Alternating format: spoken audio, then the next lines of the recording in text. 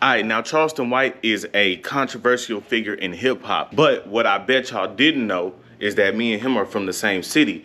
And what I bet y'all also didn't know is that Charleston White gave me my first opportunity to speak to kids at a school. So all my graphic design people, in this video, I'm gonna show you how to draw Charleston White in Illustrator and how to draw any face in Illustrator for that matter. And I'm gonna use a technique that I learned a while back. Let's jump right into it. All right, so usually when you do this, I'm on his Facebook page right now and usually when you do this, you're gonna need like a clear, a good facial shot of somebody. So I'm gonna go ahead and use this image. I'm gonna copy it and I'm gonna take it to Illustrator right now. If you don't have Illustrator, it's a part of the Adobe Cloud Suite. But if you are a graphic designer and you're searching this video out, I'm pretty sure you have it already. So let's go ahead and copy that in and I'm gonna blow it up a little bit to where his face is big on the canvas. And then I'm gonna hit Command 2 or Control 2 if you on a Windows to kind of lock this image, right? So that's the very first step. We got his face kind of centered on the canvas, right? Now, you're gonna come over here to your shape tool and you want the ellipse tool. You're gonna change this to black and you're gonna create an oval. Then you're gonna select A to kind of put it in anchor point mode. Select these anchor points, select one, hold shift, select the other one, and then this button right here, convert selected anchor ports points to corner. You're gonna select that, right? So now this is what you should have. You're gonna come over here to your brushes because that's what we're doing. We're creating a brush to kind of give that artistic like drawn look. And you're gonna come over here and simply drag this over to brushes. It's gonna ask you what kind of brush. You want an art brush. So you're gonna hit art brush and hit OK. This pretty much tells you the direction. And now we have our brush so we can kind of move this out of the way. The next thing we're gonna do is we're gonna come over here to our layers panel and we're gonna open that, right? We're gonna create a new layer because this needs to be above this. And we're gonna name this layer line art, all right? And so with this brush selected, you're literally gonna hit B, which is select the brush tool for you, or you can come over here and click this. And then just to show you, you're gonna start drawing, right? Like that's an ear. Now that's too thick of a stroke, so I think I'm gonna go downward a little bit to about 0.5. And then that's where it is. So I'm gonna do this and I'm gonna outline his entire face and just a piece of free game. When you're doing this, a lot of the times you're, you're going to have to pick up your stroke. However, if you do that, you'll kind of get that type of thing. And sometimes we want that. So a free game is to start your stroke here uh, inside of it. And then boom, you'll kind of get more of what you're looking for, right? So I'm going to actually come thicken that up a little bit because the overall outline of his face does need to be kind of thick. So let's finish let's finish outlining.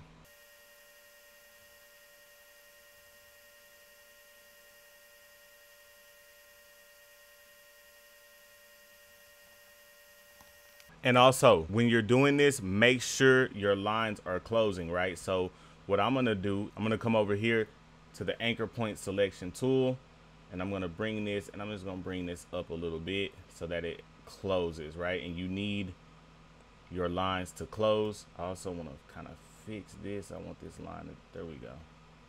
Be like that. And let's finish this face.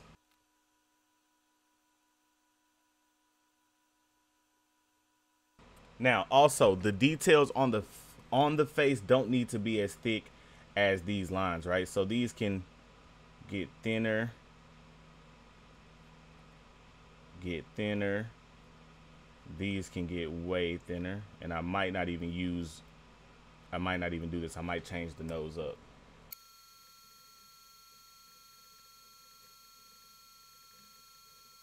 Now for the lips as well I want to show y'all some. You're gonna double click right here on the brush and then I want to turn this up one notch to smooth because you know on things like lips and eyes and stuff like that you kind of want to be precise even if it's not the actual shape of what you're tracing.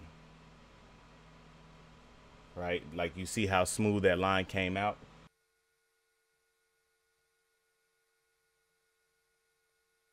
And then for the teeth, I'm gonna actually switch to a regular brush because logistically this type of brush don't make sense for teeth.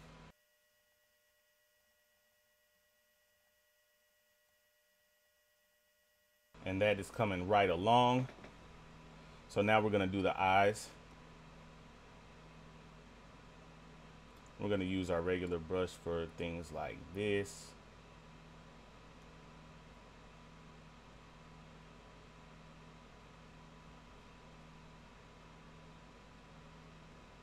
We're gonna make it really thin.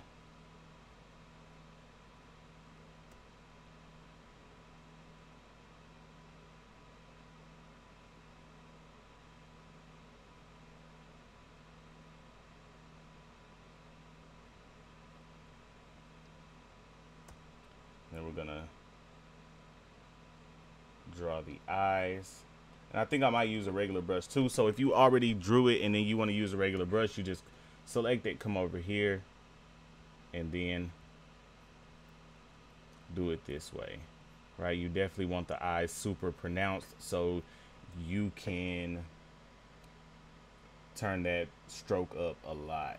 And now we have eyes. And so now to draw like the pupils of the eye, we're actually just gonna use like a regular circle. We're gonna use a regular circle. So you come over here to the ellipse tool. You got a lot of different shapes. If you long press it, we want the ellipse tool though. And then we're just gonna hit shift and drag this out and then kind of try to place it as real as possible.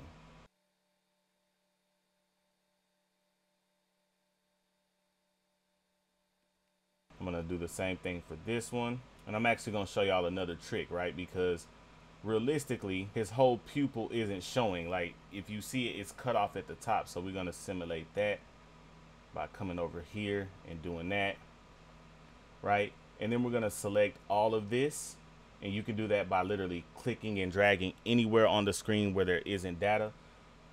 And then boom, highlight that, go over here to the shape builder, hit option or alt, and then boom, just take that part off. And so now you see we've kind of got that cut off eye look. And the same thing here, right? So we still got a way to go, but this is starting to shape up. So we got to do some eyebrows. I'd usually just go to the brush tool. I'm going to use a regular brush for this. I'm going to do that. And then I'm going to take my other brush, take that down, and then I'm just going to kind of simulate eyebrows real quick. This is much easier to do if you have like a pencil, like an Apple pencil or something like that.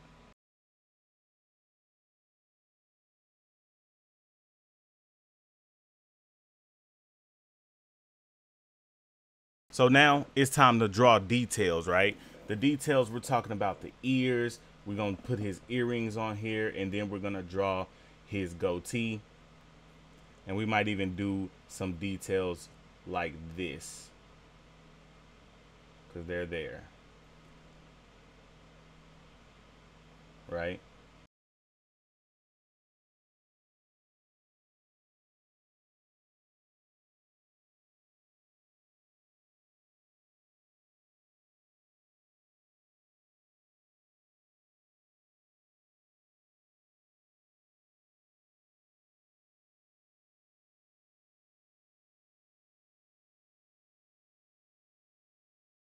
All right, so now I'm just gonna double check, make sure I'm not missing anything that I might wanna do.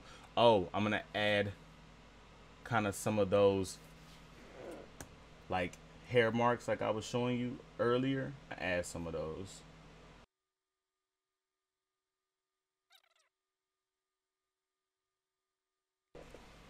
And you know what? That's good, right? So now here comes the fun part, right? So you're gonna select the whole thing and you're going to do that by hitting command A or control A.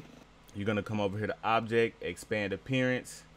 Then you're going to do it again. Come over here to expand And then with all of that selected, you're gonna go up here to the Pathfinder if you don't have it. So this one is Unite. This is gonna make all these black lines is gonna make them all one thing, right? So you're gonna hit that. And now this is all one thing, right? So it's coming along good. The next thing we're gonna do, we're gonna take this, open it up, and I'm gonna hit I.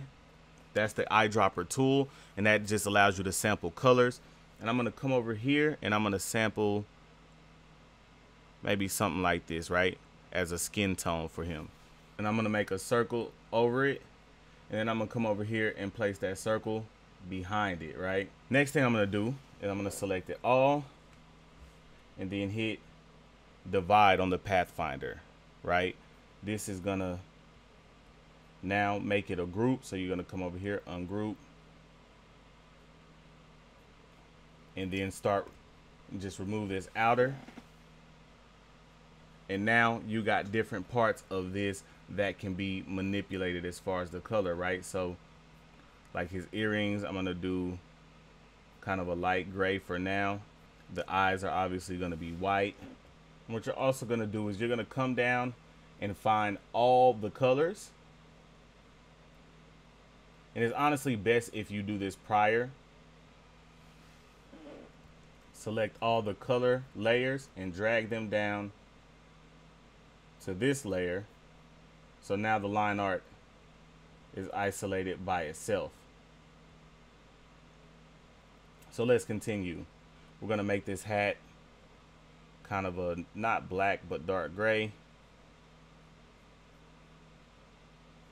Then I'm going to turn this off to grab kind of a color for the lips. We're going to adjust this color a little bit and go right there. Select it, copy this color code.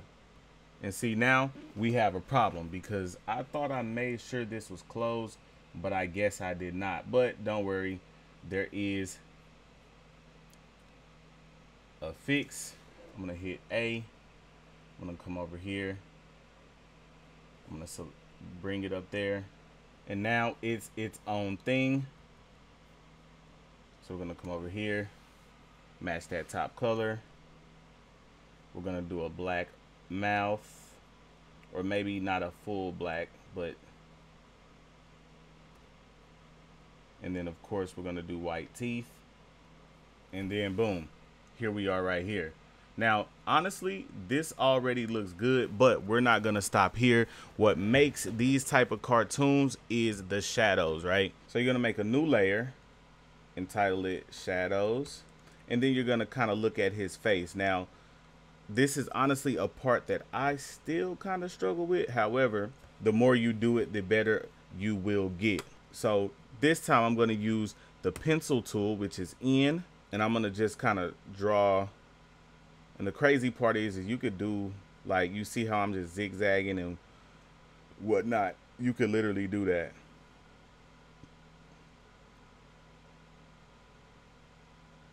Right? And now I have that shape, so I'm gonna open it up. And I'm gonna for now give it the eyedropper tool so it kind of blends in now, but you're gonna come over here and you're simply just gonna slide down a little bit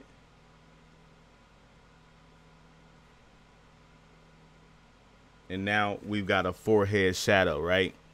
And so we're to pretty much repeat this method for the whole time.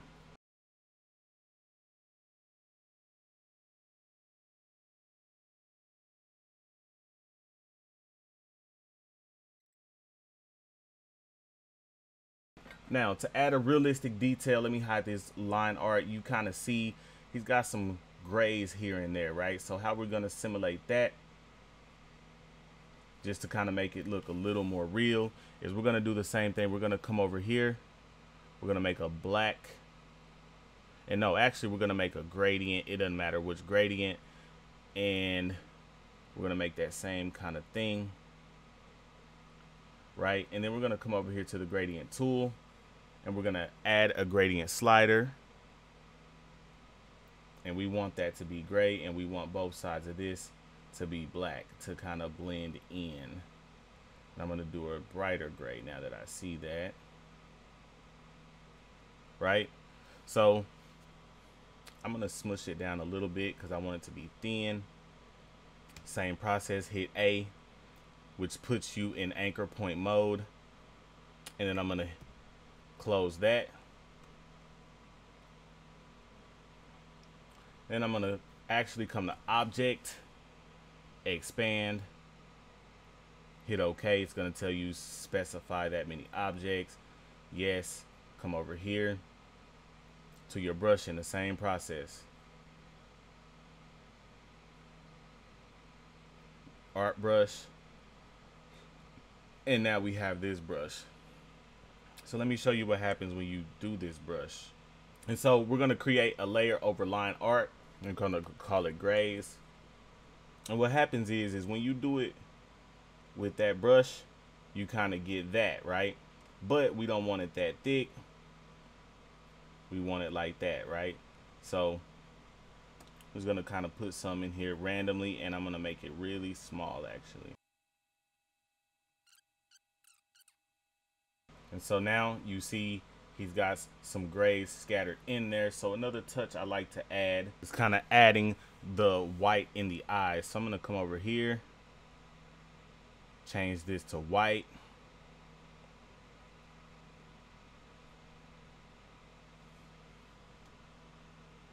you put that there you put that there and now boom we've got his face right?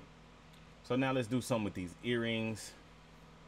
Come over here kind of give them like a gradient just to simulate some sort of shine.